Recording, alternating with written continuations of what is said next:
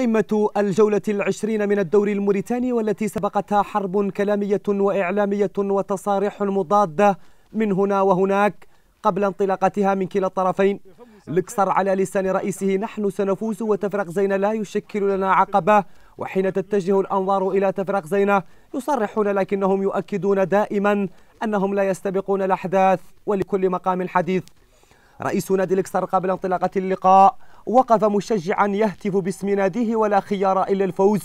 أما رئيس تفرق زين فاكتفى بالجلوس وكأنه يريد الرد على أرضية الملعب.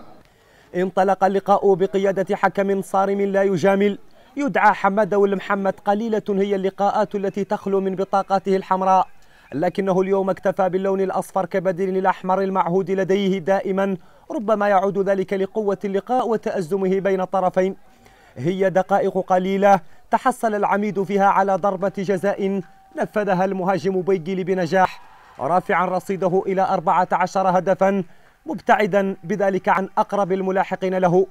المدرجات هذا المساء لا تخلو من الهتاف باسم العميد الإكسر في كل دقيقة تمر من زمن اللقاء.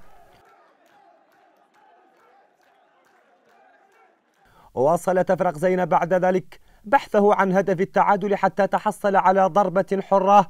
نفذها لاعب الوسط يعقوب دينا بنجاح وأودعها في شباك حارسه السابق سليمان جلو. معلنا عن بداية لمشوار قادم لكن البديل ورزق أفسد الفرح من خلال عمل فردي قام به. أسفر عن هدف ثاني للعميد الكسر فاشتعلت المدرجات معه.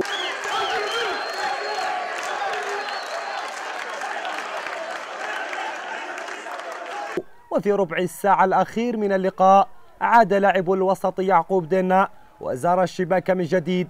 فتنفس الفرنسي أنريك ماري السعداء بذلك بعد دقائق عاشها على أحر من الجمر.